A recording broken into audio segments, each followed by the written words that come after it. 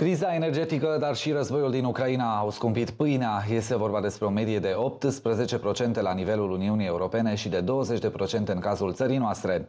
La scurt timp după recoltarea grâului, ministrul agriculturii Petre Daia spunea că producătorii se văd nevoiți să scumpească pâinea din cauza prețului motorinei. De cealaltă parte, producătorii de grâne spuneau că o majorare a prețului nu este justificată.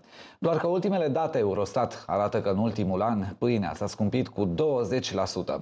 Discutăm despre acest subiect cu analistul economic Adrian Negrescu. Bună dimineața, vă mulțumesc pentru... Bună dimineața, bine v-am găsit! Așadar, domnule Negrescu, este sau nu este justificată scumpirea prețului la pâine, o scumpire care ne afectează pe mulți dintre noi?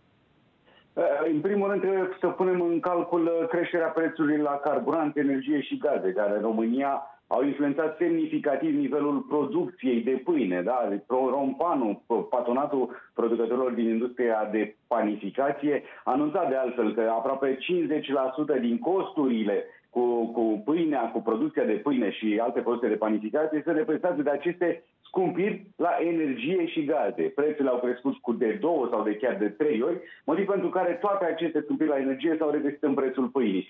Uh, e un element destul de paradoxal uh, raportat la, la celelalte țări din Uniunea Europeană, pentru că noi suntem al doilea exportator de grâu din Europa, după Franța. În Franța prețurile au crescut numai cu 8%, la noi cu aproape 20%, tem că uh, marea problemă e pe zona de energie, nu neapărat pe, pe zona de creștere a prețului grâului. Și aici autoritățile trebuie să intervină.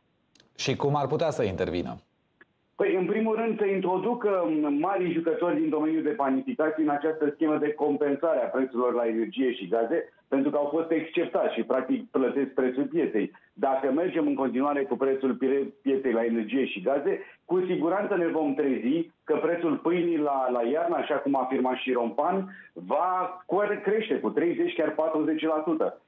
Sper că se vor găsi soluții și în coaliție se vor lua măsuri pentru a proteja, practic, uh, această industrie de care depinde mare parte din populație. Să nu uităm că pâinea este elementul principal din, uh, de pe masa multora dintre români.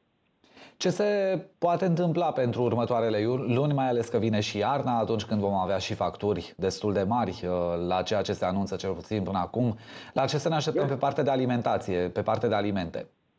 Uh, vestea bună este că producția de grâu din 2022 este una foarte mare la nivel internațional și noi am exportat foarte, foarte mult grâu. Suntem bine din punct de vedere al prețurilor la grâu care au început să scadă. Uh, vestea proastă este că această ordonanță la energie și gaze uh, cuplată și cu măsurile pe care vor fi luate sau nu vor fi luate, rămâne de văzut, în ceea ce privește prețurile la motorină și benzină, vor influența inclusiv zona asta de, de produse alimentare. Așa că Uh, cum arată perspectivele în momentul de față? De fapt, mi-e teamă însă că uh, prețurile vor continua să crească, mai ales la alimentele de bază, cartofi, pâine, um, brânzeturi, ulei, da, carne, mai ales carne, acolo unde avem mare, mare o problemă, în condițiile în care 80% de, de exemplu, din carnea de porc pe care noi o consumăm vine din import. Va depinde foarte mult și de cum evoluează cursul euro în momentul de față, pentru că um, importăm mare parte din produsele alimentare. Uh, deci se anunță vremuri destul de tulburi pentru, pentru uh, români din un punct de vedere al produselor alimentare și ne teamă însă că